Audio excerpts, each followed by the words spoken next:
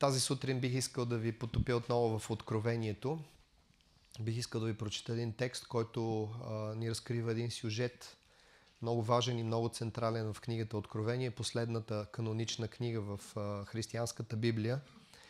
На тема Откровение съм, защото през последните два дена водих а, семинар върху седемте послания към седемте църкви, а, упоменати в Откровението, като главният ми фокус беше кой е Исус, тъй като първата глава на Откровение започва с видение на човешкия син, а след това седем послания, а, които са отправени към седем реално съществуващи в тогавашното време църкви, послания, които не са изгубили своята давност, тъй като църквата и до, и до днес се бори с същите проблеми, същите предизвикателства и трябва да постигне същите цели, които Христос има за нея, конкретно, за християнството като цяло и за Божия свят, който един ден ще бъде Божий, който един ден ще бъде Негова собственост, притежание и владеене, не просто собственост. Така че тази сутрин бих искал да ви прочета един фрагмент, върху който съм проповядвал и друг път, даже може би съвсем неодавна, но ми се иска да го разгледам през една перспектива. И, и не просто да ви разкажа какво би могло да значи това, което четеме, някои от детайлите в, в разказа на Йоанн за небесната действителност, а какво всъщност означава това за нас, които сме тук на земята. И макар и да имаме връзка с небесното, небесното продължава да остава невидимо за нас. Ние имаме само вътрешно усещане, че то е, че то съществува и чрез вяра приемаме това, че някои хора са имали способността да го видят. Извикани са там горе, разказано им е в частност апостол Йоанн, но отново ние трябва да се доверим не само на Бог, който е извикал апостола, но и на това, че апостола наистина е бил там и че наистина е видял това, което ни е разказал. Така че много ми се иска и тази сутрин да скрепим небето и земята с вяра да повярваме, че това са слова, които въжат веднъж и завинаги за всеки, който търси Божията воля. Така че бих искал да ви насоча към текста. Това е Откровението на Йоан 5 глава от първия стих, ви чета до 12, всъщност до 14 стих. Още веднъж Откровение 5 глава от първия стих до 14 стих. И видях в десницата на седящия на престола книга, изписана отвътре и отвън, запечатана с седем печата – и видях, че един силен ангел прогласяваше с висок глас Кой е достоен да разгърне книгата и да разпечати печатите й? И никой, нито на небето, нито на земята, нито под земята не можеше да разгърне книгата, нито да я гледа. Аз плаках много, защото никой не се намери достоен да разгърне книгата, нито да я гледа. Но един от старейшините ми каза, не дей плака, ето лъвът, който е от юдовото племе, Давидовият корен, победи и може да разгърне книгата и да разпечати нейните седем печата. И видях между престола и четирите живи същества, между тях и старейшините, че стоеше агне, като заклано, което имаше седем рога и седем очи, които са седемте Божии духове разпратени по цялата земя. И то дойде и взе книгата от десницата на седящия на престола – и когато взе книгата, четирите живи същества и двадесете и четирима старейшини паднаха пред агнето, като всеки държеше арфа и златни чаши, пълни с тамян, които са молитвите на светиите.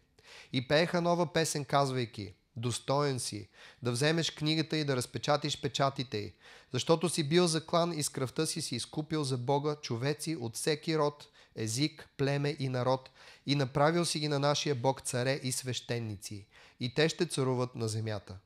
И видях и чул глас от много ангели около престола и живите същества и старейшините, и броят им беше десетки хиляди, по десетки хиляди и хиляди по хиляди, и казваха с висок глас. Достойно е агнето, което е било заклано да приеме сила и богатство, премъдрост и могъщество, почет, слава и благословение. И всяко създание, което е на небето, на земята и под земята, и по морето, и всичко, което е в тях, чух да казва. На този, който седи на престола и на агнето, да бъде благословение и почет, слава и господство до вечни векове. И четирите живи същества казаха Амин. И старейшините паднаха и се поклониха. Амин. Това е текст, който ни въвежда в духовната действителност. Там, където живее Бог, там, откъдето е дошъл нашия Господ. Видението, което Йоанн ни разказва тук в петата глава е видение, което следва неговото видение на престола на Бога. Четвъртата глава е момента, в който той е извикан чрез духа и казва на часа се намерих в духа и в небето имаше отворена врата. Там видях престола и започва да описва седящия на престола, каква е действителността около този престол. И всъщност ние разбираме, че Йоанн вижда същото, което виждат някои пророци, като пророк Исаия, който вижда Господ в неговия храм, 6 глава на, на книгата на Исаия. Езекил, който вижда летящия престол на Яхве, първа глава, много често ви правя препратки към, към тези текстове, както и Данаил, който в седмата глава на своята книга вижда а, престолна зала, в която има два престола, древния подни сяда на един от престолите, а до него а, идва малко по-късно в една следваща сцена един по-млад, който изглежда като човешки син, който идва на облаци, на който се дава слава, на който се дава сила и владение на всички земни царства. Видението на, видението на а, Йоанн тук трябва да се втъкне, да се, впле, да се вплете в видението на Даниил. Даниил ни е дал само главната схема. Йоанн ще запълни това видение с много детайли. И ще ни даде да разбереме, че всъщност Данаил няколко стотин години преди да дойде Христос е видял небесната коронация на Исус нашия Господ. Следващото нещо, което искам да ви кажа е това, че единствено откровението на Йоанн, някои други книги с малко изключение, като да кажем посланието към евреите, откровението на Йоанн се занимава с небесната действителност. И да ви кажа честно, ако не е откровението на Йоанн, да ни каже какво се случва с Исус след като Той е взет на облак и е възкачен горе, ние въобще няма да знаем какво се е случило. Първо. Второ, ако това, което Той ни казва, не се е случило, всичко, което Исус направи и каза, описано в Евангелието, нямаше да има никаква сила. Щеше да се разпадне, щеше да се размие в историята. Защо? Защото за да може един човек да обича враговете си, той не просто трябва да го приеме като морално задължение. Трябва му свръхестествена сила, за да го направи. Тоест, ако Исус не се е качил горе, не е бил коронясан, не е получил цялата власт на небето и земята и не я е дал тая власт на църквата, за да живее онова, което той им разказа, че трябва да е пътя на, на християните, ние въобще не може да си помислим да обичаме враговете си, камо ли реално да го направим.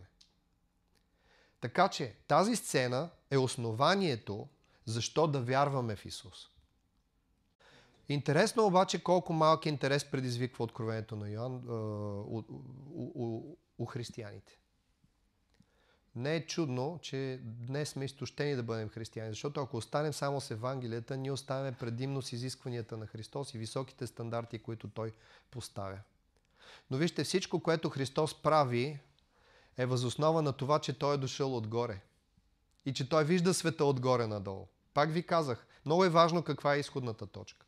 Ние вървиме от тук на там, вървиме, вървиме, вървиме и се изтощаваме и даже понякога си казваме, аз да малумен ли съм, да не съм си нещо, съм се самонавил, някой да не ме нави, да не са глупостите неща, които ги вярвам. Нали, понякога се прокрадва съмнение, особено когато сме силно предизвикани, когато плата се събуди и си казва, бе, я се наяш, я се напи, я това, я това. Нали? Изведнъж тази картина за небесното изчезва, изчезва замества се с реалността на, на телото, както казваха старите братя тинчевисти.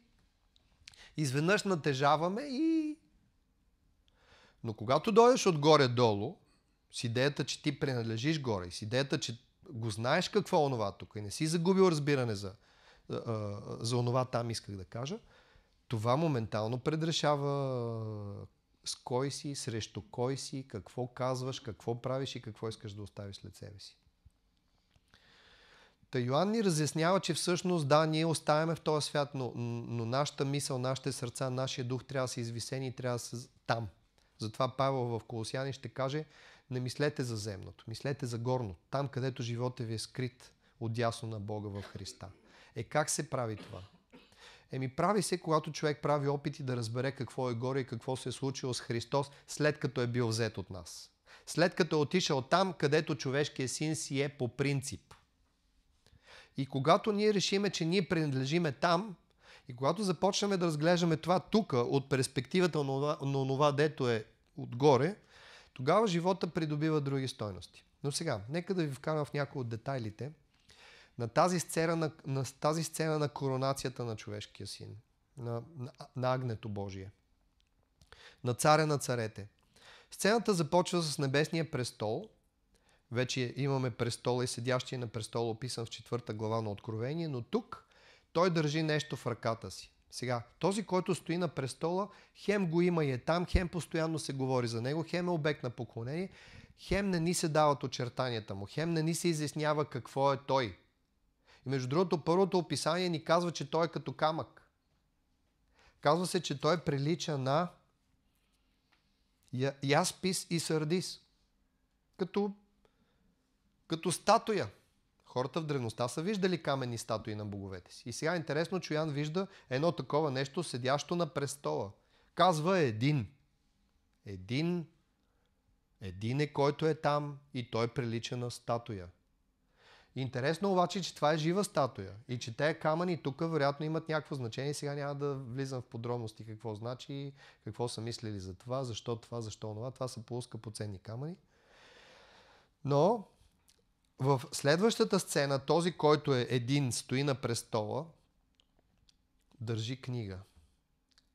И тази книга е много странна. Тя е написана отвън и отвътре и на всичкото отгоре запечатана със седем печата.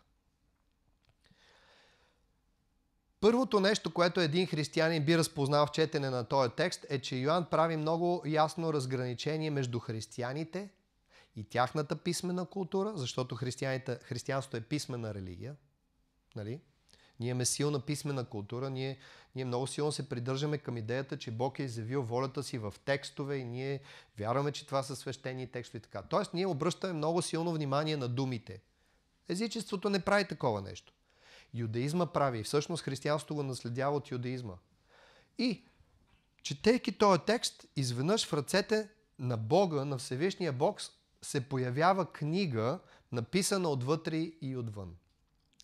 Юдео-християните са наследили писмената култура на, на юдаизма, но в писмената култура на юдаизма няма книги. Има скрижали. Тоест, те се написват на дълъг текст, който се навива на две точилки. Тук трябваше да се смете.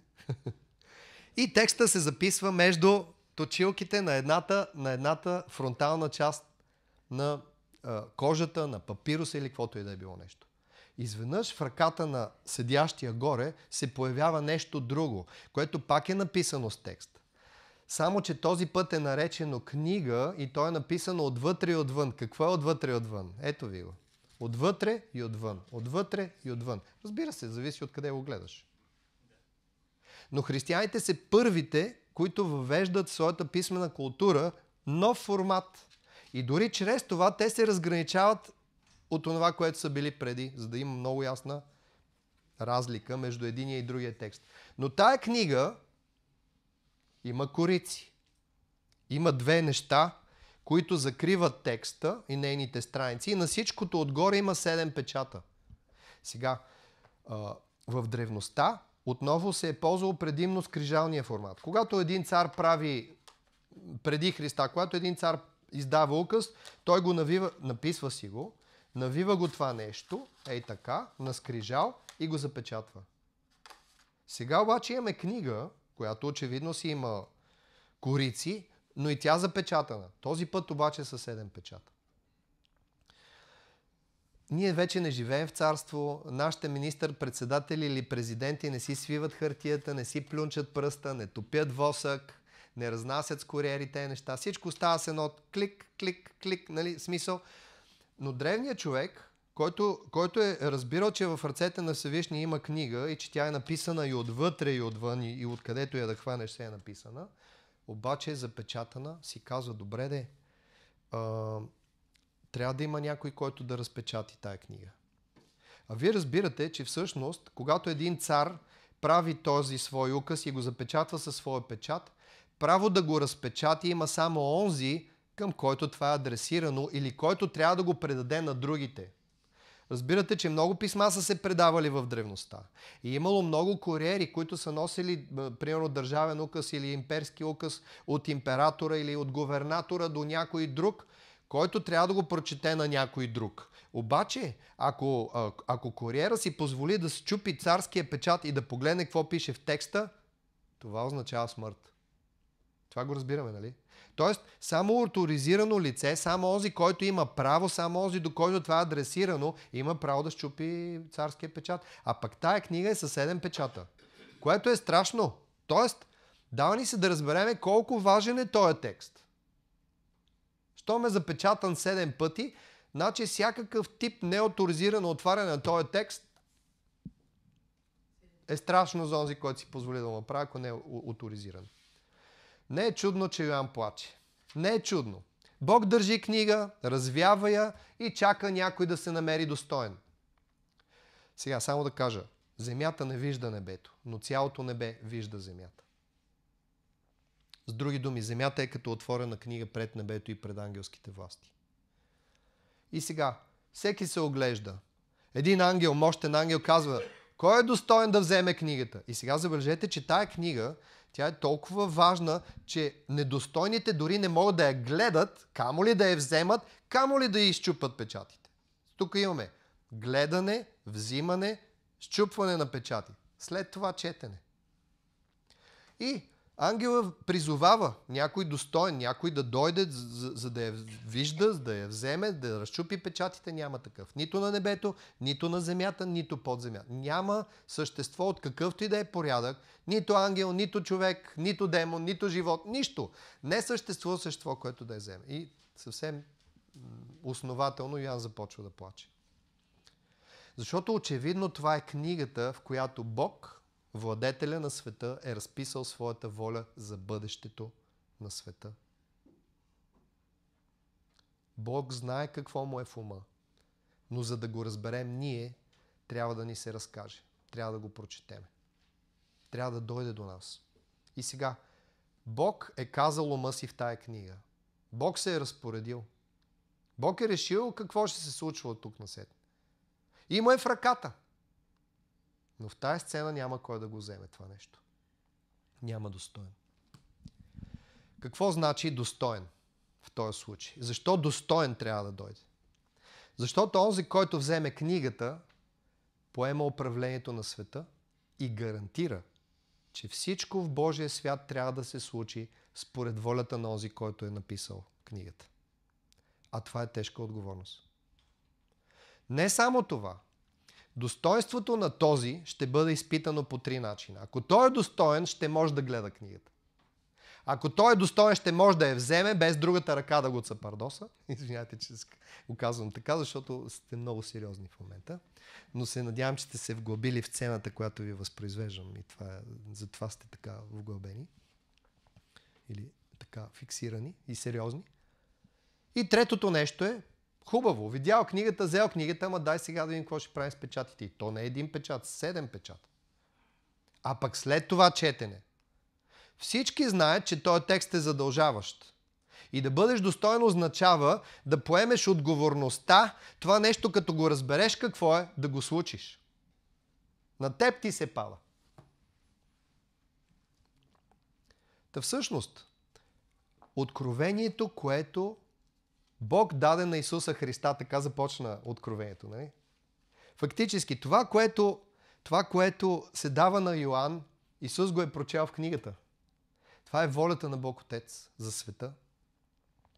Но вижте, Исус, нашия Господ, се появява като агнец, след като е бил тук. Сега, той първо е бил там, след това е дошъл тук, свършил е някаква работа и е отишъл там. Повечето от нас си мислят, че Исус свърши всичко в момента, в който каза свърши се. Но вижте, свърши се за нас. За Него е почна се. Защо? Защото реално онова, което е дошъл да направи, е да се докаже като достоен. Да гледа книгата, да вземе книгата и да разпечати печатите А в момента, в който се случи това, и вие разбирате, че при изчупването на всеки печат се разкрива в някаква степен волята на ония, който е написал книгата и какво е написано в нея. Той, който чупи печатите, е главното действащо лице на това. Волята на написалия книгата да се осъществи. А за тая цел, той е трябва да се докаже като достоен преди да вземе книгата. С други думи, той не може да се доказва като достоен в движение. Защото сбъркали, сбърква света. Направили нещо погрешно, небесата се разпадат, земята изгаря. Тук отговорността вече е на божествено ниво. И за това няма достоен нито на небето, нито на земята, нито под земята, но се явява агнето. Явява се, застава между седящи на престола и херовимите и 24-те старци, вижда книгата и я взима от ръката на баща си. И в момента, в който я взима и всички виждат, че той не е поразен, разбират, че той е достоен. Достоен, защо? Защото тати много го обича. Извиняйте, че говоря така, но нещо много стана сериозно положението. Не, защото той се доказа. Доказа своите достоинства чрез онова, което направи долу където беше изпратен. И тук вече чуваме всичко, което той казва в Евангелието. Аз не съм дошъл да извърша своята воля, аз не говоря каквото на мен ми се иска, аз не се срещам с който пожелая, на мен не ми се, аз не си подбирам хората както аз искам. Каквото отец ми е казал, каквото отец ми е показал, каквото той иска, той ме е изпратил, така, така, така. Особено Евангелието на Ян, защото това е първият том на двутомник. Не само това. Той умира и възкръсва отдава живота си за овцете, които после ще трябва да ръководи. И така доказва себе си като достоен. И след като е доказал себе си като достоен, с други думи, че Бог може му довери целия свят и че от тук нататък той е показал, че няма да има нито един грешен ход, започва разкриването на нещата. Чупенето на печатите и не само той, той пръв, но след това и всички останали, от ангелите до хората – започват да разбират каква е волята на Отец. Начина по който света трябва да бъде наказан за безбожието му. Първо юдеите, после езичниците. Природата, дори ако щете, катаклизмите, които той е предвещал, а след това съда и голямото поправяне на света, докато небето и земята станат нови, докато дойде момента, в който небето на Бога слиза на земята на Бога, Бог обитава в небесния Иерусалим заедно с човеците, ще изтрие сълзите от очите им, ще премахне проклятото, проклетото, смъртта, смърт няма да има повече. И момента, в който Бог ще каже, ето, подновявам всичко. Това е края на всичко. Но разбирате, че онзи, който започва да, да, да разбира какво Бог Отец е решил от книгата, която той е написал, той го разбира прогресивно и започва да действа и да го изпълнява всичко това. Но отново той го прави, защото е достоен. И сега, в момента, в който а, Йоанн започва да плаче, старея, който един от 24 старци идва до него и казва, не дай да плачеш. Очевидно небето знае, че Бог е заложил на един, който още не е тук. Но всеки момент се появи. Небето чака изпратения. Чака той да се върне от своята мисия. Не бих казал спасител, макар че той е тръгнал да изработва спасението, защото спасението ще се случи в момента, в който той се яви в небето и небето казва достоен си. Твоята кръв е несправедливо пролята. Ти си чист, няма в какво да бъдеш обвинен. Ти претърпя смърт за мен би казал Отец за нас, би казал небето за човеците, царувай.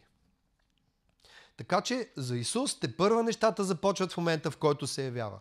Но мисълта ми е такава. В момента, в който Ян плаче, на него му се казва, бъди спокоен, не дай да плачеш.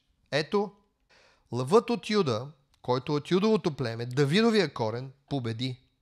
Победи, може да разгърне книгата и да разпечати нейните седем печата. Исус е надеждата на небето, не само на земята. Защото ако Той не ни беше изкупил, ние и небето се разпадаме за винаги. Небето остава без нас. Не само ние без небето. И в момента, в който а, в момента, в който Йоанн започва вече да си нагласява своята мисловна картина за това кой да очаква, вероятно ума му вече прави връзка с един текст, който е в Битие 49 глава 9 и 10 стих.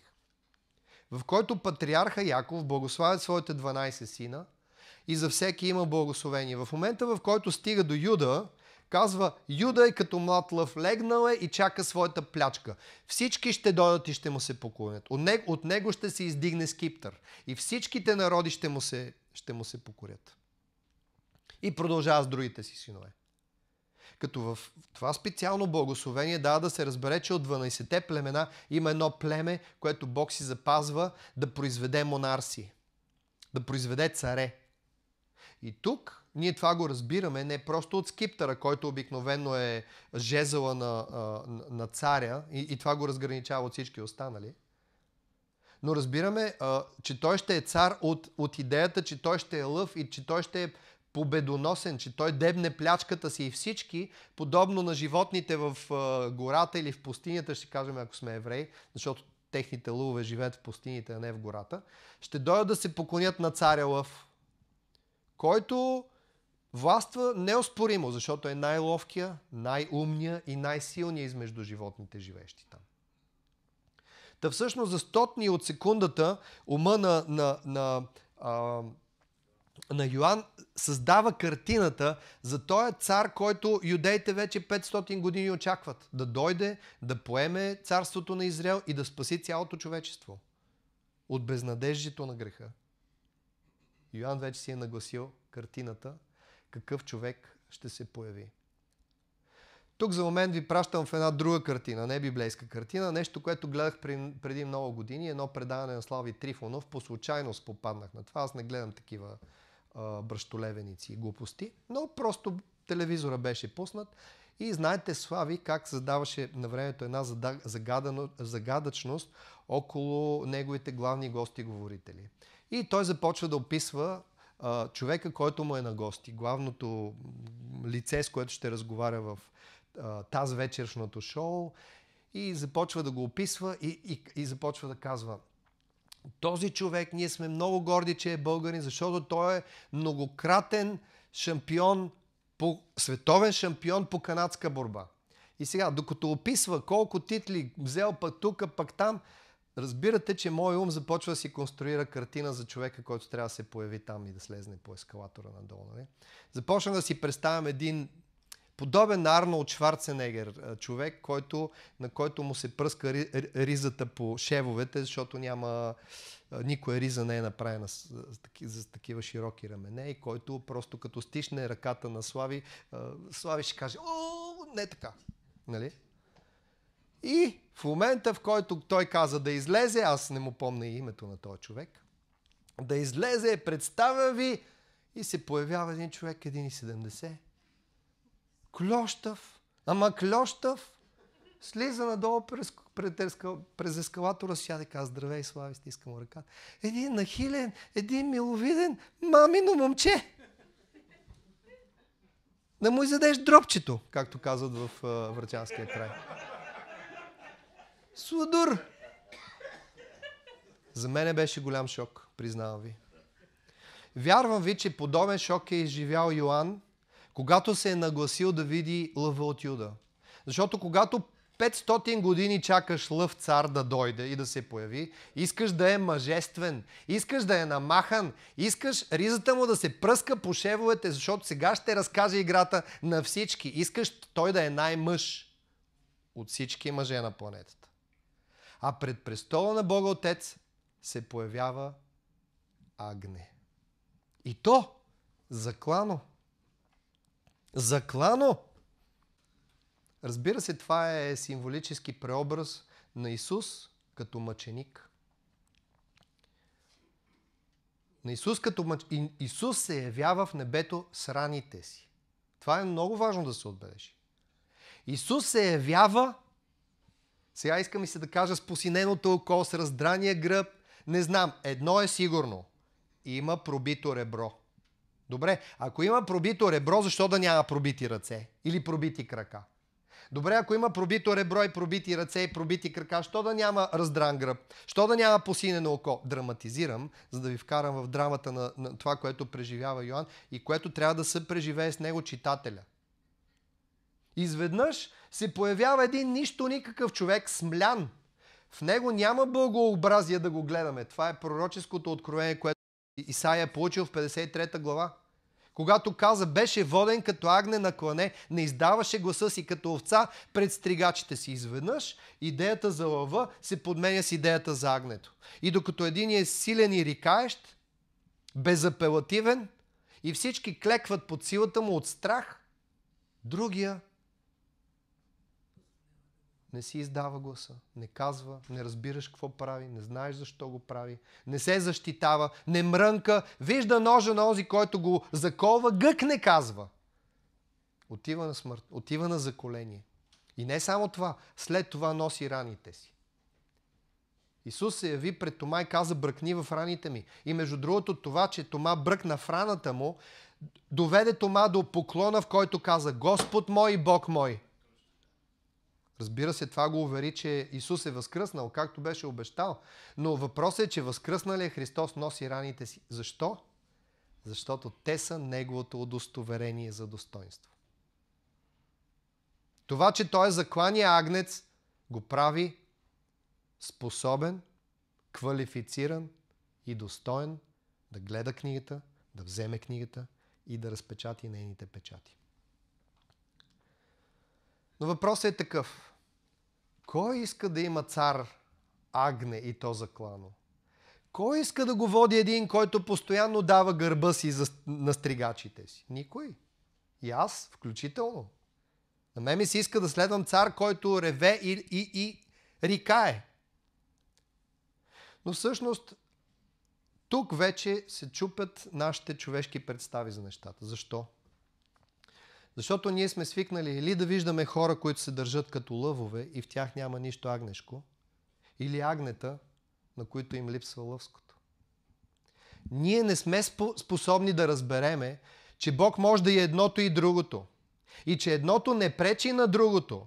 Напротив, едното придава пълнота на другото и помага на другото да се усъвършенства и да достигне до, до крайния си предел, до, крайния си, до, до съвършенството си. Предстои ми да ви кажа какво искам да ви кажа. И то как има отношение към нас. Ние се покланяме на агнето лъв, който е модел за подражание. Модел за подражание. Да бъдеш християнин означава да бъдеш като Христос. Не просто да чуеш какво има да ти каже от време на време. Да бъдеш като Христос. Ето това е тайната на християнство. И това е поредното нещо, което изважда христа, християнството от морализма. Конфуций казал нещо много умно, дайте да го направим.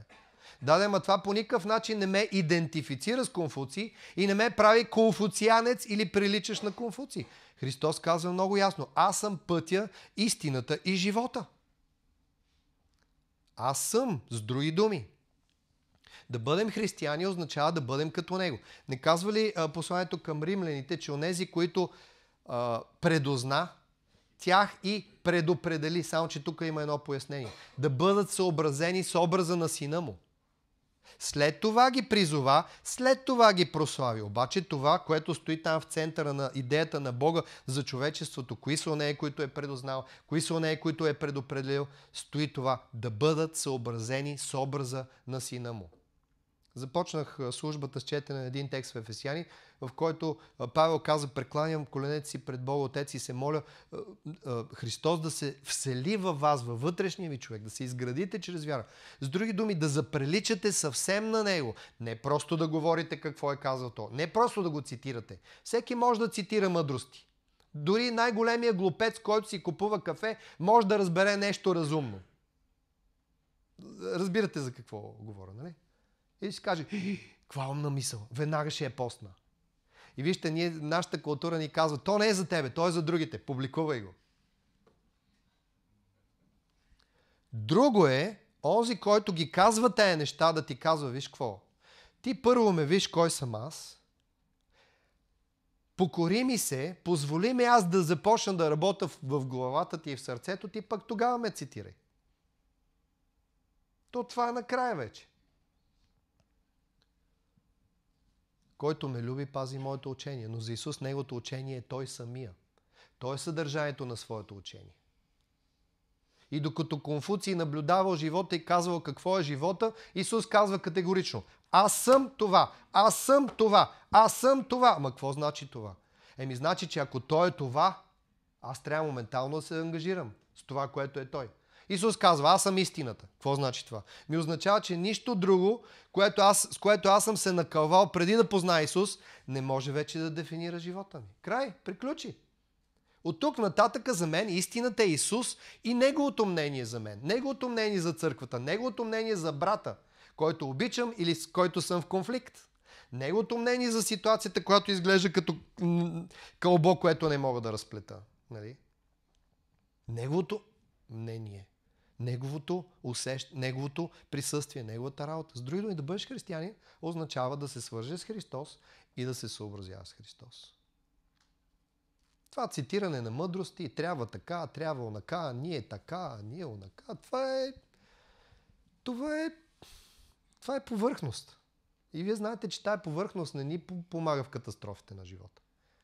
Помага ни това, което е в сърцевината. Сърцето свързано с Христа. С агнето лъв. Ей, някой ще каже, лесно му не си устои Бог. Да, де, но нали идеята е това, че изведнъж, изведнъж му стана много трудно, защото стана човек. Вие представите ли си какво е на един Бог да стане човек? Да се вмести тук, е в, в тая кожа, да се поти Бог, да се поти и да прави други работи, които и на нас не ни харесват. Да го дундурка някой, да суче от нечии гърди, да го пляснат, когато, когато не прави това, дето трябва. Нали? Представете ли си вечността, божеството? Втора глава на Филипяни се казва, когато беше в, образ, в, образа, на Божий, е, в образа Божий, не щете, че е необходимо да държи равенство с Бога. Но се отказа от всичко и стана слуга. Е, тогава му стана трудно. Тоест, той, е той е минал през нашия път. Но вижте, той дойде да ни разкрие, че баланса в живота и онова, което той очаква от нас, се намира там, когато прецениме да бъдем агнета лъвове. И когато разберем кога в определена ситуация да отключваме лъвското, а кога се изисква да отключваме агнешкото. Ето това е разковничето на християнския живот. Това е трудността. Да намериш баланса между двете, да се взираш в Христос и да не виждаш едностранчив образ, защото ти си такъв и на теб ти си иска ти да откриеш себе си в Него. Защото идеята на християнството е точно обратното. Ти да откриеш Неговия образ в себе си. Това пак ще го кажа, защото е много важно. Много лесно е човек да чете текстовете, да разбира Исус, да търси Исус и да, да открива себе си в Него. Да търси своето, което, е, което се съдържа в нас. Ако ти си роден по природа лъв, ти винаги ще се стремиш да виждаш лъвското в, в Христос. И, и, и винаги ще прескачаш агнешкото. Защото просто ти не го виждаш, ти го пропускаш. Така си сгубен. И обратното. Ако ти си агнето, ти, ти, ти ще избягваш лъвското в Христа. А той е и двете. И ако той е и двете, той изисква ти да станеш двете. И ако по природа имаш повече от едното, той изисква, тръгвайки след него, ти да попълниш и другото. Защото божественият живот и вечният живот изисква Бог да има до себе си агнета лъвове. Или лъвски агнет. Сега нека малко да, да, да разчепкам това в рамките на 10 на минути, защото тук вече идваме към момента, който се отнася за нас. Спиралата ни води към центъра. Представете си, че книгата, която Бог държи, с седемте печата, е някаква работа, която трябва да се свърши. Бе, някой трябва да вика Осана, благословение идващия в Господното име. Бог го е разписал. Въпросът е, кой ще се зачисли? Кой ще се разпише за тази задача? Кой ще може да я погледне тази задача прямо в очите и кой ще има дразновението и смелостта да я вземе от Божите ръце и да каже като, като Исаия, мене ме пращай. Тоест, част от достоинствата за свършването на някаква работа, която е като книга за печата на 7 печата, е това човек да има готовност, да има решителност, да се осмели. Но след това се оказва, че трябва да има качества и умения, но трябва да има и добродетели. Три неща. Готовност, качества, добродетели. Това квалифицира Божия човек да извърши някои от волите на Бога, които той е разписал. В древността Хората са вярвали, че боговете предварително са разписали съдбата и историята на човечеството и те не просто са казали кой какво трябва да направи, като че ли това е някаква орисия, а те в небесни книги, и това е шумеро-акадска култура, после а, евреите я възприемат, Бог е написал какво трябва да се случи в света. А кой ще го направи, това вече е отделна работа. Аз знае мислите, които имам за вас, каза Господ на Еремия. Знам. Мислите ми са за добро, за надежда, за бъдеще. Да, да, ма кой ще се включи в това бъдеще, кой ще може да вземе тая работа от ръката на Бога и, да, и, и, и да, да почне да я разгръща и да я чете, защото спомнете си, да я вземеш и да разчупиш печатите означава да се ангажираш с това. Да го направиш. Представете си печатите като предизвикателствата, които стоят пред, пред изпълнението на всяка задача, която Бог има и развява в небето, чакайки някой да е достоен. Да има готовност, да има качества, да има добродетели. В момента, в който човека с готовност, качества и добродетели вземе тая работа и казва, аз ще я свърша тая работа. Тя е за мене. Идват предизвикателствата. Чупенето на печатите. Няма дело в този свят. Няма дело. Няма нещо, което човек може да случи в този свят, без да срещне съпротивление.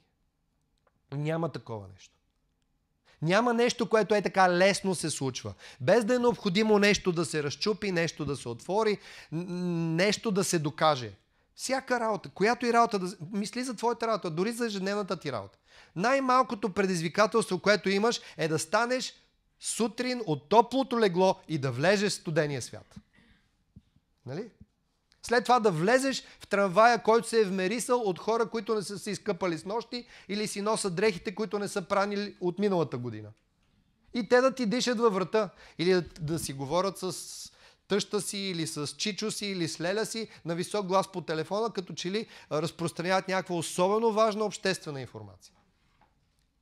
Ма, ма това, са, това са елементаризми. Аз ви въвеждам в елементаризмите. Нали? За да направиш нещо добро, ще трябва да чупиш печати. Тоест има, има а, извършването на волята Божия си има предизвикателства. И тук вече също се иска достоинство. Изисква се доказване на това достоинство. Във всеки следващ печат. Нали? И се оказва, че има много хора, които не разчупват последния печат и не стигат до яснота, не свършват работата до край, защото някъде са се изтощили в чупенето на печати, в преодоляването на предизвикателства. Вижте, ако живота беше прост и ако живота беше с най-елементарни задачи, Бог щеше да реши да си направи само лъвове и да му трябват само лъвове, само смели храбреци, мъжествени, тия дето да пукат ризите по раменете, по шевовете, нали? Само хора, които да са контролиращи, само борци за справедливост, само хора на действието, защото това са лъвовете. Безспорно, визионерите, Юруш, давай ще го правиме. Ама колко кръв ще ни коства? Ама кой ще умре в процеса? Това не е важно. Важно е работата да се свърши. Лъва е силен и той иска другите да са силни. Лъва не обича мекошавите, не обича агънцата. Камо ли закланите? Нали, за него закланите агнета са мезе. Той иска постоянно да се взимат решения и да се действа по въпроса, да се дават отчети, работа да върви. Победа! Победа! Слава! Победа! Ако могат те така да ми изрисуват лицето на едно знаме и цяла армия да развява образа ми. Победа! Слава! Това искат лъвовете. Но представете си, ако цялото човечество беше такова нещо. Ай, сега си представете, едно стадо от едни невинни агънца, които те гледат в зоомагазина и ти мигат. Моля ти се, вземи ме. Моля ти се, гушни ме. Служи ме на врата си, носи ме като Исус. Моля те. Къде е млякото? Не. Моля те. Доверчиви. Ти му вадиш ножа да го коляш. Той си казва, ще ми мажеш филия с масло и мед. Благодаря ти.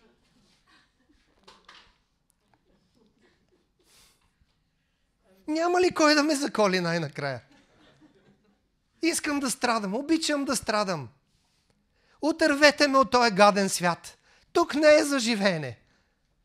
Нали? Но пък вижте, тук ви иронизирах контрастите.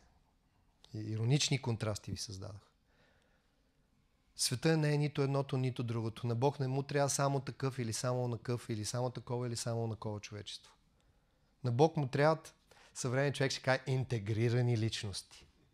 Зрели, пълноценни, по образа на Христа, който е цялостен. Между другото, психолозите имат много сериозно затруднение да направят психоанализ на Христос. Абе, четат четири евангелия са описали какво е казал, какво е правил, е, не подлежи на никакъв психоанализ. Ще ви кажа защо.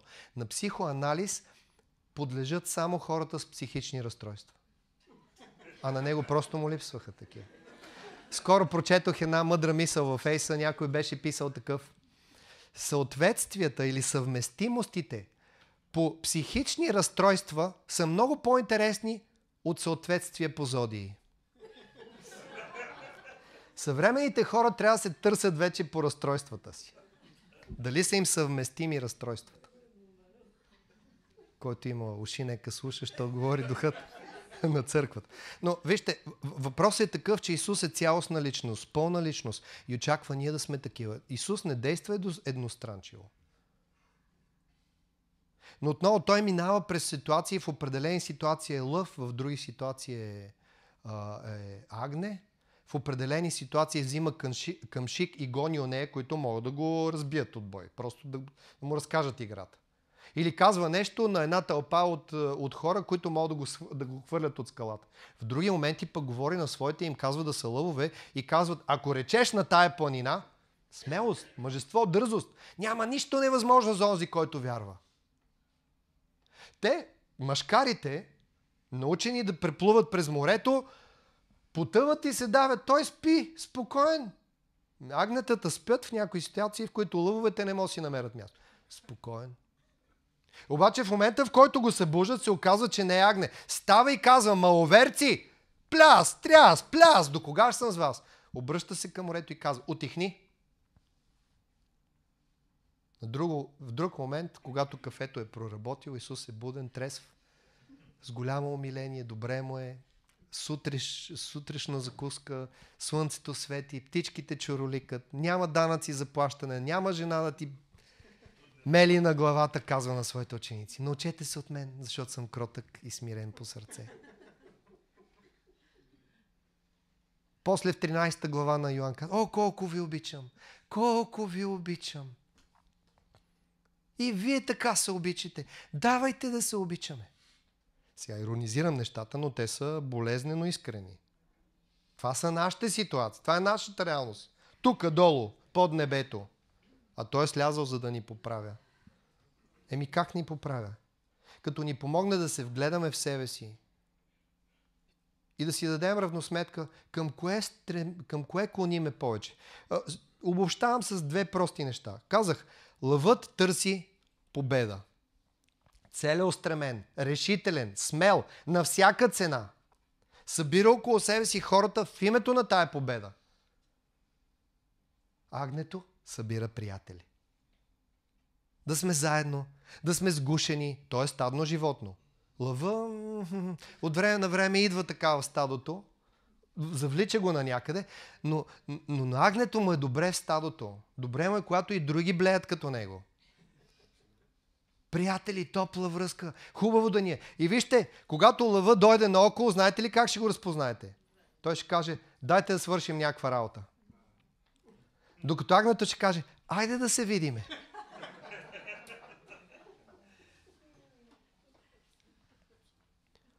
Докато лъва взима решения, дори с риск, знайки, че може би не е правилното, но все пак по-важно е да вземеш неправилно решение, отколкото да стоиш и да блеш. Докато пък агнето си казва, бе, трябва да го помислим още малко. Я да викнем и той, я да викнем и они. Айде да, айде да пообщуваме малко, айде да се видиме малко пък.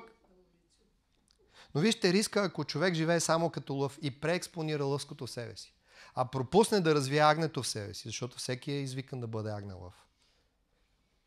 Той ще си остане много успешен, но самотен победител. И накрая се окаже, че няма с кой да си сподели победата. А пък онзи, който цял живот е хранил агнето в себе си и, и не, не е поел отговорността да стане лъв, онзи, който цял живот е бил кротък и смирен и е само е търсил приятели, с които да се вижда и да, се да, да, да общува, ще има много приятели. Но ще бъде невероятно нереализиран. Ще е пропуснал шансовете да реализира своя собствен потенциал. Ще живее с идеята, че е пропуснал възможности и че е можело да постигне едно или друго. Вижте, и в двата случая има неудовлетворение. Но каква е мъдростта на небето? Мъдростта на небето е това, да се научиме, че ако по природа едно, едно нещо ни се отдава по-лесно, трябва да тръгнем в пътя на по-голямото съпротивление. Защото се оказва, онзи, че онзи, който по природа е сглобен да бъде лъв, му е трудно да бъде агне. Виж, Бог е точно там, където ти е трудно. Бог е точно там, където ти е трудно. Защото там, където ти е лесно, не е нужно той да те държи за ръка и ти казва, аз съм с тебе до свършика на века. Защото разчита на това, че се справиш добре. Той е там с тебе в твоите рани, в твоите трудности. Трудността на лъва да е агне. Трудността на агнето е да е лъв. И ако един е лесно взима решение, другия се тута. Нали? И ако един е много обича всички, другия ги разграничава. Добър, лош, става, не става. Мързелив, некомпетентен, стоен. Не, той не може да е в моя отбор. И просто почва да ги отсява. В името на победата. Още повече е трудно да си християнин, защото в църквата на Бога не се изисква само победа. Изисква се приятелство. И не се изисква само приятелство. Изисква се победа. С други думи, хем, хем да се общуваме и да се виждаме, хем да правим неща заедно и да постигаме неща. И какво оказва се, че Бог очаква да има едно стадо от агнета, които в същото време са лъвове. В днешния ден ти разказвам това и се моля за, за това Бог да ти помогне да осмислиш ситуацията, в която се намираш. И да знаеш, че ако склонността ти е винаги да блееш или винаги да рекаеш така, че да стресираш другите, може би трябва да вземеш, да предприемеш други решения в живота си, други посоки, да, да интегрираш себе си, да, да създадеш в себе си нещо, което Бог иска да създаде в тебе. Защото всяка ситуация изисква различни решения, различни поведения. Живота е много сложен и задачите, които застават пред нас, изискват комплексни решения. А ние се опитваме да си упростиме живота. Лъва разчита на силата си, а агнето, че ще му се размине, защото е много сладко. Вижте, Исус се доказа като агне в страданието, в поемането на чуждата вина, в умилостивението, което създава мир и хармония, но след това като лъв брани това, което е постигнал като агне. Нали? Бори се за справедливост. Принципен е, водаче, славене, силене, така и ти. Не знам точно къде си в живота. Не знам как се държиш ситуацията, в която си и как мислиш, че ще можеш да се измъкнеш. Аз това го говоря на себе си, приятели. Защото точно тук, между тези две неща, се оказва, че има страшно напрежение. И никой от нас не обича да стои в това напрежение. А се оказва, че Бог работи най-много там.